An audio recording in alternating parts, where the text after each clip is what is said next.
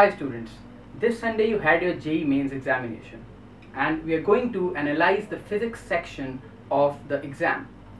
Now what we'll be going to do in this video is take up the individual chapters and then uh, take note of a number of questions that came and the difficulty level that was and then we'll take a few questions towards the end uh, to just take some examples right.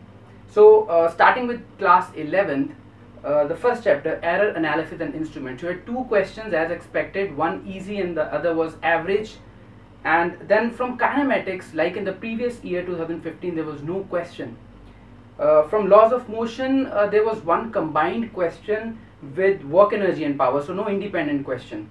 So if we go to work energy power there was uh, one easy question and then one combined question which was of average level from rotational motion, we had one average and one difficult question, so a total of two questions. From gravitation, last year there was no question and this time there was one easy question. Uh, from the topic of properties of solids and liquids, there was just one question and that was even a combined question with oscillation and waves. So in fact, no independent question and in fact, for, uh, if we talk about liquids, topics like surface tension, like in 2015, no questions being asked. So we can see that if we look at 11, there are important topics from which no question was at all asked. Uh, from thermodynamics, one difficult question regarding the graph and uh, then in uh, kinetic theory of gases, one average type of question. From oscillation and waves, uh, there was one combined question as we just talked about and then there were three questions, two average type questions and one difficult question. So in total as expected, uh, around 43% questions came from 11th and this is exactly the same number. So uh, it's 13 marks out of 30 so uh, uh I'm sorry 13 questions out of 30 uh, came from class 11th as expected. Now if we go to class 12th of course uh, 30 minus 13 gives you 17 marks. From electrostatics you had two questions both average type uh, from current electricity only one easy question and then there was one other combined question uh, which we'll just come to in some time. From magnetic uh, effects of current and magnetism you had two easy questions. So we can see 12th uh, part was comparatively easier so we'll also uh, look at that as we move ahead. From electromagnetic induction and alternating current one average question. From electromagnetic waves one easy question from optics, there were three questions. Uh, in fact, this was comparatively difficult, two average questions and one difficult question. From dual nature of matter and radiation, one average question from photoelectric effect.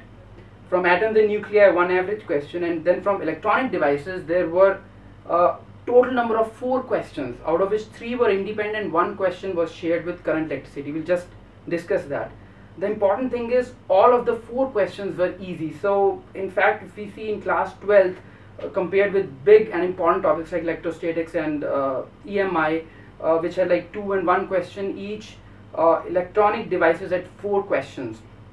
Lastly from communication systems uh, one average level of question.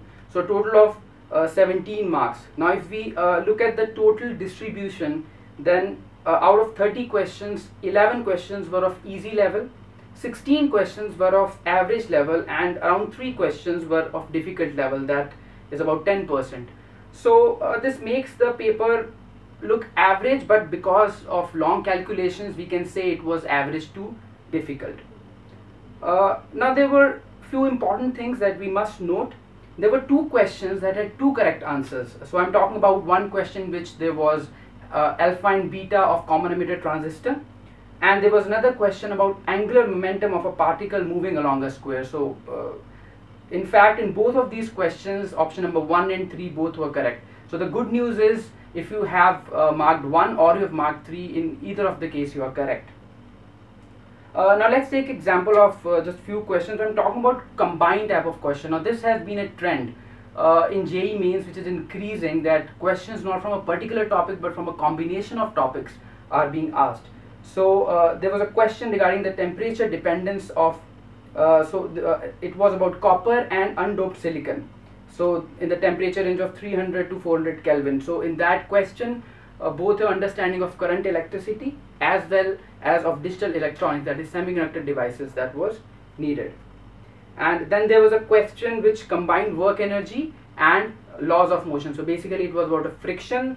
So a point particle which was moving along a rough track. So we see that in these kind of questions you had to take care of both the concepts and apply those concepts. So this was the overall analysis of the physics section